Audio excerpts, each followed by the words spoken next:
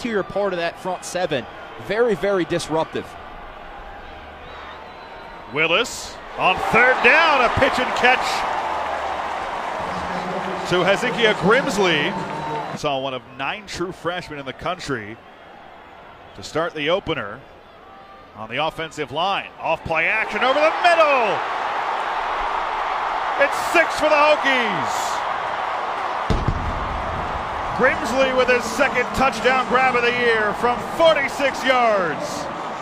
And Virginia Tech has a 9 0 lead in the first quarter. The pass completion, like they did on that drive from Willis right there, allows them to just kind of use their tempo to their advantage. Willis pressured, fires deep, has Tre Turner, touchdown! Wow. 45 yards to the freshman Turner. Well, this kid is something. Watch the pocket movement right here by Ryan Willis. Feels it, steps up, two hands on the ball. Most quarterbacks take off and run right there. Ladies and gentlemen, I promise you is where Ryan Willis seems to be the most comfortable when they get some type of positive play on first down. They go with the play action on the sweep, set up the screen left side to McClease. McClease to the second level. Will McClease go? 25 20 and down inside the 15 yard line. Chris Jackson saved a touchdown, but Deshawn McClease picks up 54 on the screen. We talked about how good Virginia Tech was at scheming you up and running different schemes, and this time it's McClease. He only has five catches on the whole season, but that's what Justin Fuente is so good at. Keene in motion.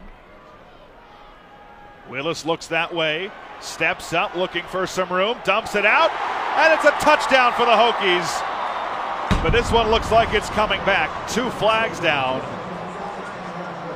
I think they're going to get Willis for an illegal forward Personal pass. foul, roughing the passer. Wow. Defense. The touchdown counts.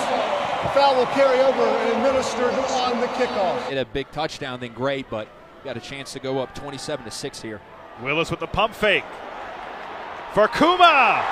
Touchdown, Hokies. Of course, right when I say they're playing small ball, they go deep.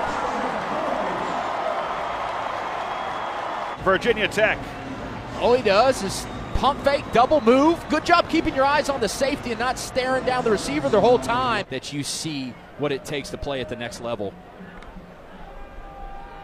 Willis steps up, going deep again for Turner, and he hauls it in. Over Nazeeh Johnson, inside the 35. Tre Turner, the freshman. With Willis throwing the football in what you call a phone booth. Look at a tight pressure collapse.